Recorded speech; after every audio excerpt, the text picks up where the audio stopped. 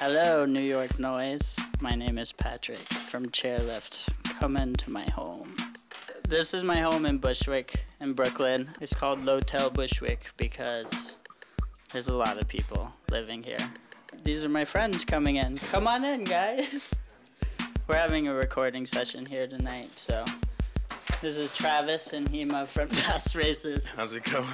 We're slowly um, turning the kitchen into our own in-house bodega.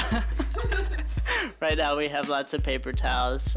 No, I don't like to use a lot of paper towels. I like to use normal towels and wash them. I think it's better for the earth. Uh, hurry up, we have to show New York Noise the bathroom. What do you think of our bathroom? I like it. Um, you could use like another towel. So this is our outdoor space. Um, this is where Caroline twirls tomatoes, onions. Cilantro. Welcome to the basement.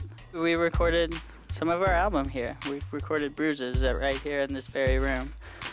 We just had an accident about half an hour before you guys got here, which is kind of devastating.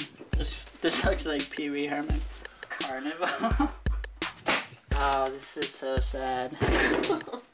This is my favorite piece of equipment in this room. This is the Juno. Yesterday, I, I, I hung up my cords on the wall, and that really brought the whole place together. That's gonna last about five minutes. it makes me feel like I have a real studio. So does this egg shell stuff.